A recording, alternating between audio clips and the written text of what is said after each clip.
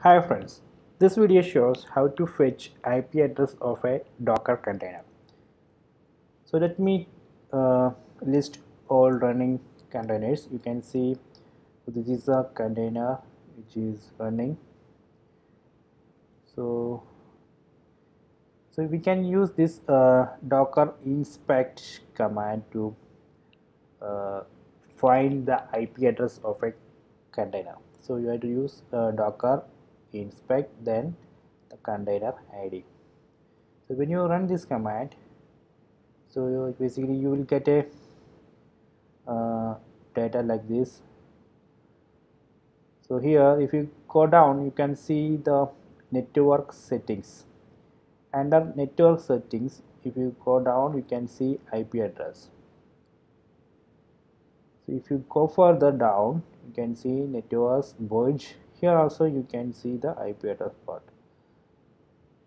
So so I will show you how we can fetch only the um, IP address from this uh, docker inspect command.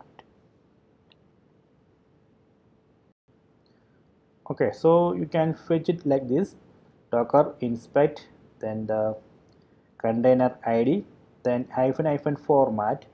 So inside this single quote double braces you can give this uh, network settings here. Dot uh, dot network settings.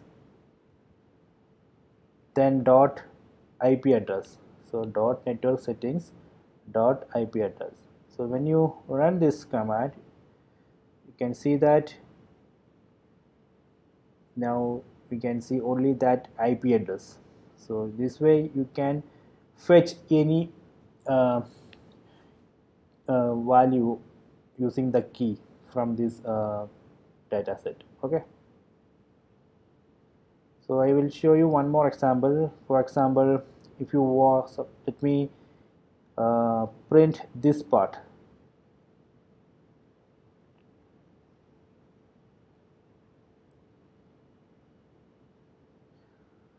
so you can see that you have to go go to network settings then networks then bridge then IP address.